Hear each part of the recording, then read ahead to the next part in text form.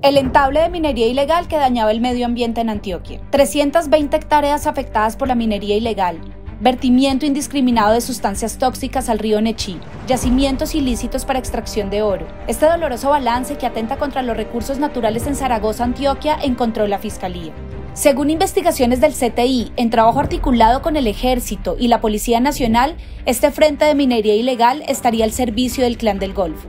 Fueron destruidas 14 excavadoras, 6 clasificadoras y 6 unidades productoras mineras. La maquinaria afectada superaría en valor los 6.300 millones de pesos. Las investigaciones dan cuenta de que las rentas criminales en este entable minero ascendían 816 millones de pesos mensuales. Son recursos que dejarán de percibir las estructuras del clan del Golfo.